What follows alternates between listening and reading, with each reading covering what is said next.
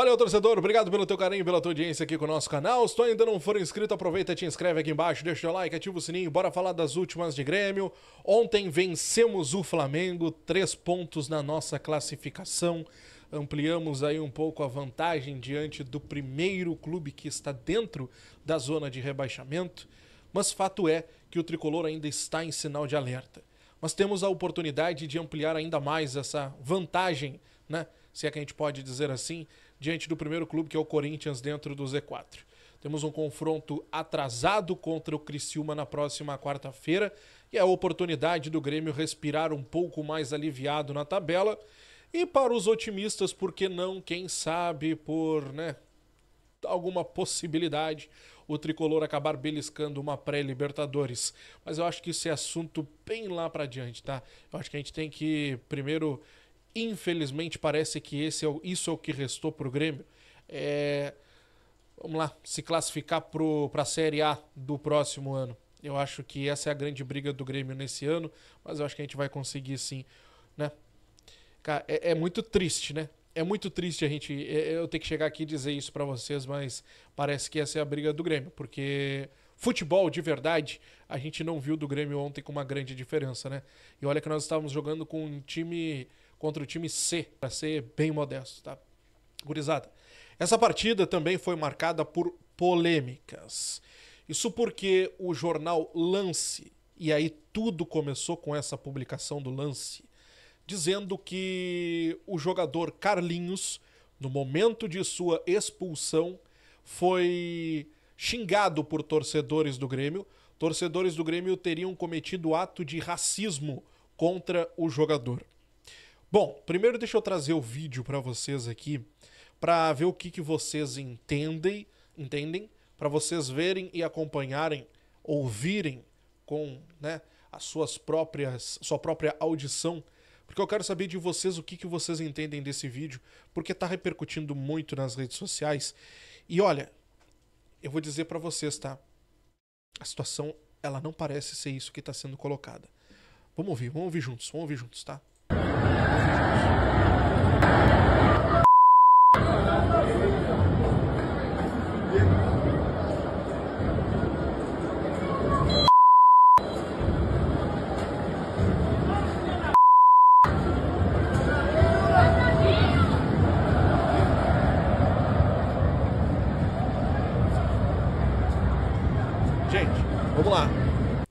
Vocês ouviram macaquinho ou tá bravinho? Para mim é muito claro. Um, um, torcedor diz, pergunta, tá bravinho? E outra criança depois repete, tá bravinho? Isso aconteceu depois deste jogador ter dado um soco na cabine do VAR, ter quebrado a cabine do VAR. Quebrado a cabine do VAR. O Flamengo, o Flamengo se posicionou em nota depois da publicação do Lance, o jornal Lance, dizendo que o clube de regatas do Flamengo informa que o atleta Carlinhos sofreu injúrias raciais ao deixar o campo após ser expulso na partida deste domingo contra o Grêmio. E aí eles vão além, dizendo que o jogador diz ter escutado imitações de macaco. E em um vídeo de uma matéria do veículo Lance, ouve-se nitidamente uma voz proferindo a palavra macaquinho. O Flamengo apoia totalmente o atleta e repudia o ocorrido e aguarda posicionamento da CBF. Para mim, esse vídeo que o Flamengo coloca, inclusive em sua nota, como se fosse a prova do crime, não é. Para mim, é nítido. Os, os, os torcedores de, perguntam: está bravinho? Tá bravinho? Tá brabinho? Tá bravinho? Para mim, é nítido isso, tá? É nítido, é nítido. O diretor jurídico do Grêmio, Luiz Paulo Germano, concedeu uma entrevista para o repórter Eduardo Gabardo, de GZH, e colocou a sua opinião sobre o caso. Abre aspas. Trata-se de denunciação caluniosa. Temos provas de que nenhuma ofensa foi proferida contra o jogador. Não aceitaremos esta canalice. Vamos tomar providências contra eles e esperamos que o STJD também assim proceda, disse então o Luiz Paulo Germano em entrevista ao Eduardo Gabardo em GZH, que é o diretor jurídico do Grêmio. O STJD deve se pronunciar nos próximos dias sobre o que deve acontecer sobre esse fato. O Grêmio estuda neste momento tomar medidas legais contra o Flamengo e contra o jornal Lance, que foi quem publicou este vídeo, colocando também ali a, a legenda como se o jogador tivesse sofrido o ato de racismo. Gente, é um absurdo partir de um veículo de informação que tem a sua credibilidade, que há muito tempo está no meio, ou seja, é um veículo que se sustenta há bastante tempo, fazer uma publicação ridícula dessa, colocando o Grêmio na berlinda mais uma vez. Seria essa a intenção de tirar o foco para uma possível punição ao jogador do, do Flamengo? Será que ele vai ser punido por ter quebrado a cabine do VAR? O vídeo é claro, é nítido. Tá brabinho? Tá brabinho? Esse mesmo jogador foi para cima do árbitro no momento da expulsão. Ele peitou o árbitro. Peitou o árbitro. Se fosse um jogador do Grêmio dessa, agindo desta maneira, já estaria sendo denunciado e já teria inclusive o julgamento marcado. que os fatos sejam apurados e a honra do Grêmio seja colocada acima de tudo. É um absurdo o que tanto o Lance quanto o Flamengo estão fazendo, porque o Flamengo comprou a ideia do jornal.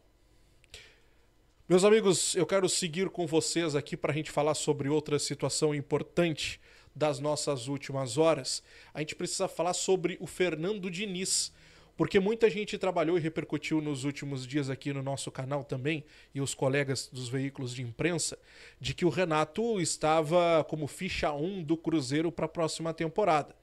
E vocês viram que o Cruzeiro fez de tudo para desmentir, colocando o Seabra como o grande técnico para a próxima temporada também, que acreditavam no trabalho dele. Só que não durou duas rodadas isso tudo e o Seabra acabou sendo demitido.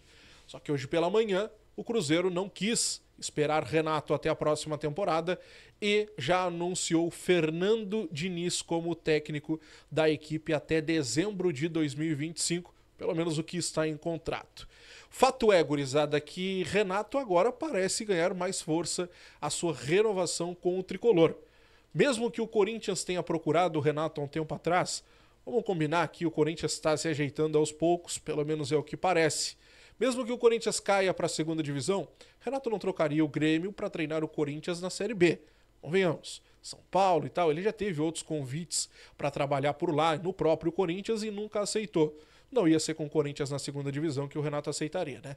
Então parece estar ganhando mais força o Renato na próxima temporada aqui no Tricolor mesmo que o fato, mesmo que essa questão do Renato, a permanência do Renato divida muitas opiniões, o presidente Alberto Guerra tem confiança no trabalho do Renato, né? Pelo menos essa é a vontade que parece prevalecer nos bastidores. Vamos acompanhar, mas parece que está se desenhando a permanência do técnico Renato Portaluppi. Curizada, eu preciso falar para vocês também sobre a nova função do PP. Vocês notaram que nas últimas duas partidas o PP entrou como um meia ofensivo e não mais como um volante mais recuado? Essa função ele já havia desempenhado tanto no Flamengo como no Cuiabá, que é a sua última equipe antes de vir para o tricolor. Fato é, gurizada, que isso seria um teste do Renato para ter mais um jogador para a função porque o Grêmio já tem o Cristaldo, o Monsalve, que até então era para ser o reserva, assumiu a titularidade na equipe e vem desempenhando um excelente futebol, e o Renato ficou sem opções para o segundo tempo, e o PP vem ganhando oportunidades na função. O jogador tem contrato com o tricolor até o final da próxima temporada. Já há clubes interessados no passe do atleta. O GE trouxe na semana passada que duas equipes aqui da Série A do nosso Brasileirão já sondaram a situação do PP. O Grêmio fez um investimento de 8 milhões de reais quando contratou o jogador do Cuiabá na época, e essa seria a última janela para o Grêmio tentar reaver todo esse investimento. Afinal de contas, na janela da metade do ano que vem, ele já poderia assinar um pré-contrato com qualquer outra equipe. Ontem ele foi questionado sobre a sua permanência ou uma possibilidade de sair do Grêmio no final da temporada, mas ele se esquivou e não quis comentar o assunto, disse que está focado no Grêmio e deixa esse assunto para o seu empresário. Fato é que Renato tem colocado o PP como um meia mais ofensivo, talvez num teste para o jogador poder ganhar, poder ganhar todo aquele aquele espaço que ele vinha tendo desde o ano passado. E depois acabou caindo, né? Te inscreve, deixa o like, ativa o sininho de notificações. Quero saber de ti o que que tu vê desse vídeo, hein?